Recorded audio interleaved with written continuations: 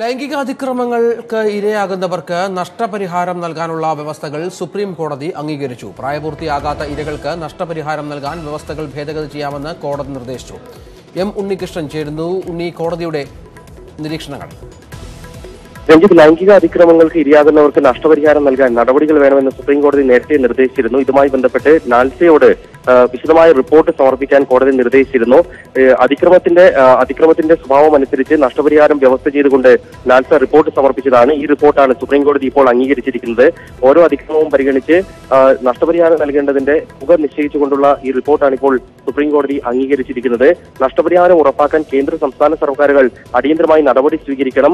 എല്ലാ അർത്ഥത്തിലും ഈ നിർദ്ദേശങ്ങൾ നടപ്പാക്കണമെന്നാണ് കോടതി ആവശ്യപ്പെട്ടിരിക്കുന്നത്. മാത്രമല്ല പ്രായപൂർത്തിയാകാത്ത ആൾക്കാർ ലൈംഗിക ആ, ഇരയാവുകയാണെങ്കിൽ അവർക്ക് നഷ്ടപരിഹാരം നിശ്ചയിക്കുന്നതിനായി ഈ വ്യവസ്ഥകൾ ആവശ്യമായ ഭേദഗതി വരുത്താമെന്നും സുപ്രീം കോടതി വ്യക്തമാക്കിയിട്ടുണ്ട്.